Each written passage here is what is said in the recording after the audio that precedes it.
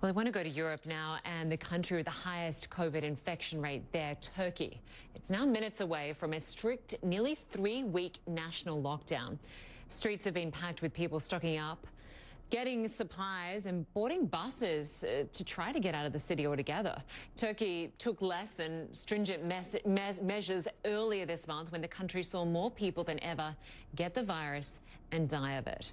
At one point, some 60,000 cases a day were being reported. Well, CNN's Arwa Damon joins us now from Istanbul. And Arwa, this lockdown set to happen uh, in less than 30 minutes. And, and as I just mentioned, people there stocking up on supplies. They're stocking up on supplies that they think they won't be able to access, Lynda. They're also trying to, or at least they were before the bank shut down, get to the bank, get to the notary.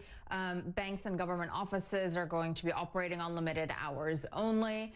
But yes, this is going to be a tough, nearly three week period uh, for people who are here. It is the holy month of Ramadan at the end of which you also have the Muslim holiday of Eid. So people are also trying to go out and get presents for uh, the children, although celebrations will obviously be significantly muted this year. Now, a lot of people, when you talk to them, they say that they understand why the government had to do this, but there is a certain level of frustration that this wasn't done sooner. There's a certain level of frustration that when the government uh, eased restrictions earlier in the year, it arguably eased them too fast by allowing um, dining to take place indoors. Then we also had a number of occasions where there were large um, political rallies that took place. And then people themselves also got complacent. And this is uh, ultimately the end result of that. What the government wants to do is as quickly as possible, bring down that infection rate to 5,000 people a day. And then we're talking about right now it hovering at around above 40,000. Why does the government want to do this? Not just uh, to try to bring down infection rates among its own population, but also um, because Turkey can't afford the blow to its own economy and it wants to save its tourism season. Yeah, and speaking of tourists, Arwa, tourists, despite this lockdown, as I understand it, are still free to travel there. Yes, uh, they are. And this is something that Turkey uh, has done since COVID began. On weekends, uh, whenever they would implement weekend lockdowns, tourists would be exempt from that. There are they are exempt from curfew hours. And right now, yes, they are free to travel here. Tourist sites uh, will be open and significantly less crowded. Of course, tourists also, though, will not be able to go out to restaurants, go out to cafes, uh, only at the hotel where they are staying. And so on the one hand, Turkey's saying, you know, come visit. You're pretty much going to have the country to yourself and all of the touristic sites uh, to yourself. But on the other hand, it's also still trying to give out that image of being, you know, a key touristic destination.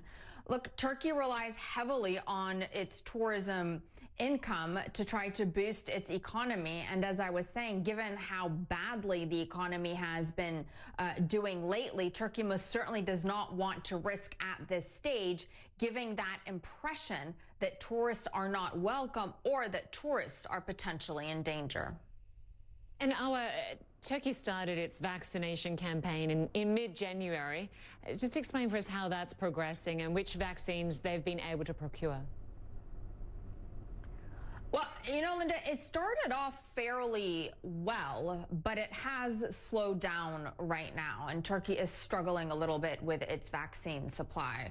Um, Turkey received the Chinese vaccine Sinovac. We also have a few million doses of Pfizer, and now Turkey has just uh, inked a deal with uh, Russia for the Sputnik vaccine. But this is also something that is going to be quite critical, as it is elsewhere in the world, for Turkey to be able to uh, open up moving forward. They have also, um, the government has said, uh, been they're going to start lengthening the time frame between um, the vaccines. So extending, for example, if you've gotten the uh, BioNTech Pfizer vaccine you won't be getting your second dose four weeks later, but rather six to eight weeks uh, later. So they're trying to stretch out, it would seem, the supply that they already have to get as many people vaccinated um, as possible at this stage, while at the same time sourcing um, other vaccines elsewhere. Turkey also is in the process in phase three uh, testing trials of its own domestically produced vaccine. So, most certainly, the government is looking everywhere